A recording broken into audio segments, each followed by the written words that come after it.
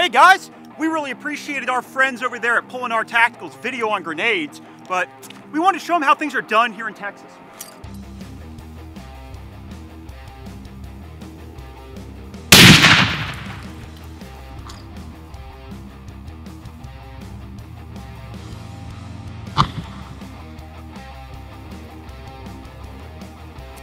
That's how we do it here in Texas.